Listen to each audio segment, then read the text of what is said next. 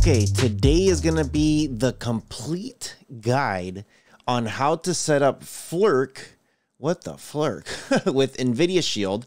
And what we're going to be using is the one for all remote. This remote has been uh, like like for off-brand remotes, one of the simplest and I think for me personally, one of the coolest remotes. The backlight works really, really good.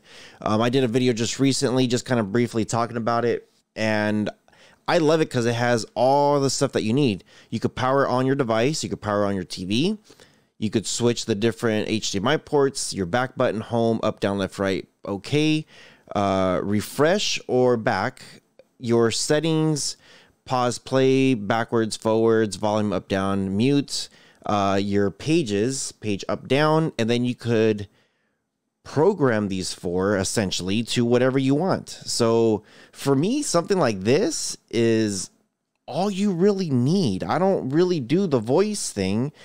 And as far as like a keyboard, like it's nice to have that keyboard, but I'm actually okay with something like this. Um, and it's really, really, really simple. The only thing with this is Sometimes it doesn't work for the NVIDIA Shield. So what did I do? I purchased one of these called Flirc and use your remote with your PC or set top box. So what you do is plug this little guy in and let's see how this works. Now, I will say this, like I have other USBs. Here's a jump drive. And this jump drive there's a little bit of weight on it, not much, but this little guy weighs actually more than this big old guy. So um, you could feel the quality off of this thing, and it's crazy how small it is. So this is the first thing that we're gonna do. We're gonna go ahead and plug this in to my USB thing here. So it says we're setting up Flirc. Here we go. So setting it up. So it's doing its thing and I'm guessing I'm supposed to have this remote nearby. Now, the one thing that you do do is you want to come here to the website called uh, Flirc. It's just flirc.tv. That's it. Um, you could also search for it. Really, really simple. So it says my device is ready to go. My Flirc device. This is interesting. So, um, yeah. So here's the box. There's nothing else that comes in it besides the USB. Very, very simple and we're gonna come down here and it says you know there's some blog stuff. There's a couple things here that you can do. So what we're gonna do is let's see we're gonna go to products. We're gonna go to flirc usb we already have it ordered. So see it says you can long long press keys macros new hardware features. It gives you all the stuff here that you need to know. Now when it comes to actually like setting up your stuff see built-in pairing modes so it has anything that you want to do. So let's come here to bottom where it says downloads. I'm actually kind of surprised that at the top there isn't a downloads. There's support, blog, and products. So, but if you scroll all the way down, you're gonna see here it says home, downloads, and support. For it's like it's like everything on the top besides downloads. It's like I don't know why they didn't do that. So I'm gonna hit downloads, and it has here, you know, it's asking you which which product. So we got this one, Flirc USB. Click on this, and we are in a Windows, so we're gonna click Windows. So if you got Mac, Linux, that's what you do. And then you want to click on this Windows installer for Flirc. So click this box to accept terms. It turns blue, and then when you hover, it turns green. Select it, and here it is. It's now downloading. Now you will get a pop-up notification that says, "Are you sure that you want to do this?" And once you do, you're going to get something like this that says, Welcome to Flirc Setup. Just hit next, next. Um, I'm going to create a shortcut on the home page and then run Flirc. So finish, and it's going to set it up. So install update, go ahead and do whatever updates it needs. Ready to install, install it. And I'm going to get another pop up here that says just continue, next, install. And for whatever reason, it says click abort to stop the installation or try it again.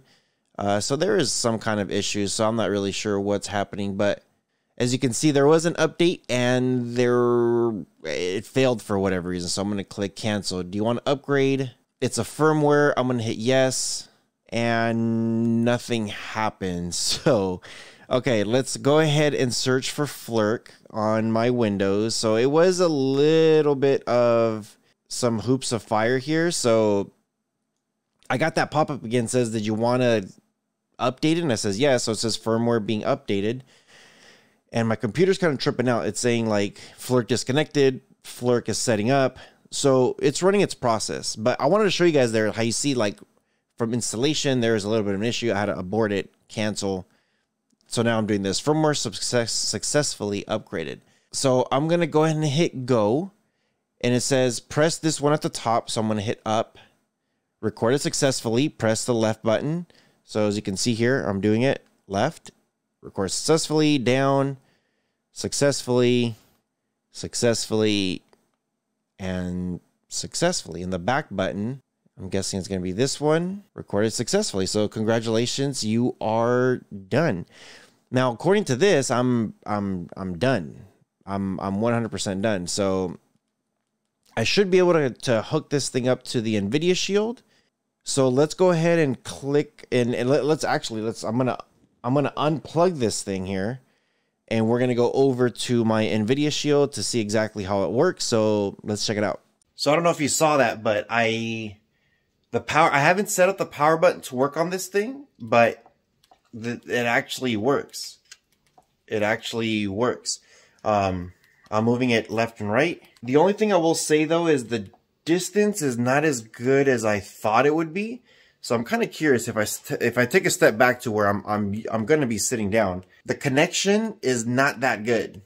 As you can see, it's not that good. You need to be a lot closer than what it says. So look at this. I'm I'm I'm th th this is where I sit down. It is not working. So let's see how close I have to be and I'm pointing directly right at my shield. And there goes. So about midway through the through the room, I'm literally halfway in the room and it's going. The second I step back, it doesn't work that well. So, and this is where I'm sitting right here. Now I'm kind of curious if I if I were to actually move the remote um, out. I thought it said 10 meters that this thing is. I might have to have some kind of extender, so that way the the the IR is exposed. So here it is right there. I'm going to leave the shield just dangling right there on the bottom. And if I move left or right, you can see it's actually moving. So if I do this, it works just fine all the way to where I'm at. And of course, my dog is very interested to what I'm doing. So I'm actually going to move a little further. And as you can see, it's actually picking it up. So the biggest thing on this remote is you have to have it you, you have to have that USB receiver, um, the USB exposed so that way it can pick up the signal. So keep that in mind. Okay, before I let you guys go, I actually figured out how to program those macros or those buttons down here at the bottom. So I'm over here on my device and let's just say I want um, Disney Plus and the way it works is with these four buttons here, we're going to do the play button here. So we're going to hold that play button until it blinks red. There it is. And then what I'm going to do is I'm going to go over here to Disney Plus. I'm going to click on it. Once it opens up, now I'm going to hold that red button until it blinks green. There goes, green twice, let go. I'm going to hit my home button to get out of there. And now what I'm going to do is I'm going to go ahead and back up all the way here. I'm going to hit that button and that should be it. Now, the only thing that does, that is a downer on this thing. So if you record the sequence, um, because it, what it does, it records all your sequences. So let's just say you're over here at, at, at Disney, you're, you're like right on Disney Plus, and I'm going to re-record that button right here. So I'm going to do this. It's going to blink red and I'm going to click on Disney Plus right there. So there it goes. Now that it's opened, I'm going to long hold that so that way it goes green. There we go. So now it's recorded. Now here, here's the other, here's the only downside of stuff. If let's just say I'm over here searching through like all my apps. I'm just going through my apps and I'm just like, hey, I want to go to Disney Plus. If I do that, it's going to, it just recorded the answer button. So wherever I'm at, that's where it's going to go. So a little bit of a downer. I wish that it would just record the sequence to just the app. Like I, I want I want to go just to the app. I don't want to go anywhere else. So it's a little bit tricky. You almost have to be like in on a very certain spot so that way you're good all the time. Um, so a little bit of a downer on that one. I, you know, again, it's just going to record the steps of what you can do. Now, there's a possibility that you probably could record it specifically to go to that app. I don't know. I haven't played with it that much yet to really, really find out, but as you can see, it's, it's, it, it's not bad, but it's not great. It's not perfect. You know, I really wish that you could record those things to do what, you know, wherever you want it to go. So let me know what you guys think. Um, I'm a little bit on the fence on it. I kind of wish that I would just click on whatever button I wanted to go for the app and boom, the app opens. Um, but it, it records the steps of get to the app. But the only problem is, is if you hit, like I know with, with, with, with the shield, like if, if you keep hitting that back button, it's going to go all the way up to your home. So you have to record step down, step down, right, right, and then it hits. So, most of the time, a lot of people don't do that. When they hit the home button, sometimes it just goes to the first app within the favorites. So yeah, it's, it's a little, it, it, it, it's a little tricky, but I think if you figure it out on exactly how you want it, then you should be good to go. So let me know what you guys think in the comment section below. Um, I try to get you guys some of the stuff here. Um, but it, it's, it's really not that bad. Let's come over to the computer so that way you guys could see all the different types of remotes that you guys could set this up on. Okay, so now that we've seen that you could actually create the macros, which is, you know, it's kind of neat. I, I really wish I could just hit the button and it knows exactly which app I want to go to. You have to be in a very specific location on your device for it to do this. So let's go ahead and look at this thing real quick. So this is the, the, the remote and you can go to controllers. You got your channels, so you have all different types of options. You have your NVIDIA Shield, like the original NVIDIA Shield uh, remote. Then you got the next gen, which is kind of cool because I think I probably will use this. They don't have a home button, so I'm not really sure how that would work. I, you know, I, if I hit home, I wanted to go back to the NVIDIA Shield home. So yeah, kind of interesting here. But the cool th- they, it does have a home button here. But the cool thing is, is that you could it tells you here exactly what every single button does. So I don't know. We'll see. I'll probably I'll, I'll this one says Netflix, so I'm guessing it's gonna go directly to Netflix. But here you got your PS4. Uh, you got your full keyboard again you got Boxee so you got you got all different types of stuff here to use all different types of, of remotes. I really do wish some of these did have like a disney plus or stuff like that so that way i can like media keys. That way i can control it. This one has the fire tv but this is like an old old remote. Um I, you know you don't see the buttons down there at the bottom. So here's your xbox and here's your Flirc Streacom edition. So I probably would do a couple of these things just for the heck of it, just to see if it works.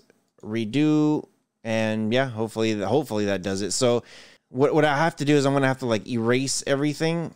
So so here's the other thing too. Like you know, like this, this is one thing I'm trying out. So when I do hit the home button, it didn't work. So if I click on this and if I hit that, it says button already exists. So I have to redo it. And again, so it doesn't let you redo it. So I have to hit cancel. So I have to erase, click the button on your remote you want to be erased on. So erase the button. So I just clicked on this thing and erase the button. So now I'm going to hit home, click on this, record it successfully. So hopefully that does the trick. I'm hoping that does the trick. Um, this one is my menu, so it should be this button up here. And yeah, it's going to say I already have it here. So I'm going to hit erase. I'm going to click on that button, erased, click on this, and paired. So hopefully this will fix some of this stuff. I don't know. We'll see. The one thing I noticed is this plus minus sign, it doesn't light up. So I don't know if I have to hit, if I have to hold it and it blinks or something. I don't know. I, don't see nothing working. So uh, kind of curious to see what it is. If I hit this thing here, it, it's not even registering the plus minus. So very interested to see why it's doing that, why it's not picking it up. But other than that, remote looks pretty good. It works pretty good. Uh, the macros are fine. You know, we'll, we'll we'll see. Everything everything on this remote looks good. I think I just have to mess with the macros just a little bit so that way I have it exactly how I want it. But other than that, I think it's going to be a great remote for us to use. Um, yeah, let me know in the comment section below what do you guys think. Has a lot of cool stuff. I, I I wish they could. I you know I really do wish they had an area here where it says this button will open up Netflix. This button will open up Hulu. If you can do that on this thing, hands down will be the best remote possible with no barriers whatsoever. So let me know what you guys think in the comment section below. I do apologize, the video is a little lengthy, but I had to show you guys everything and everything that you absolutely need to know. Yeah, with all that being said, you guys take care, take care of each other, and I'll see you guys in the next one. Take care, guys.